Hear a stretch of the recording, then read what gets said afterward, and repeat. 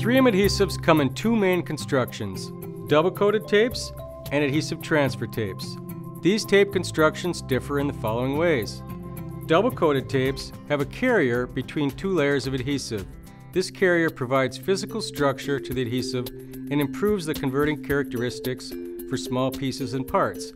In contrast, adhesive transfer tapes do not have a carrier and cannot be handled without the liner in place. The temperature resistance of double-coated tapes is limited by the temperature resistance of the carrier. This is not true of the adhesive transfer tapes because there is no carrier. Temperature resistance of the adhesive transfer tape is limited only by the adhesive itself. Here we have a double-coated tape. It has physical structure and improved handling due to the carrier layer. Here we have an adhesive transfer tape. You can see that it is very flexible and conformable due to the absence of the carrier.